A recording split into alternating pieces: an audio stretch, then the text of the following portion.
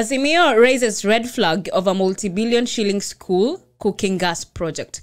National Assembly Minority Leader Opiyo Wandayi and Vihiga Senator Godfrey Osotsi say the project needs serious interrogation to ensure that it's above board and it's, av- it's above board and does not serve to benefit a few at the expense of the others.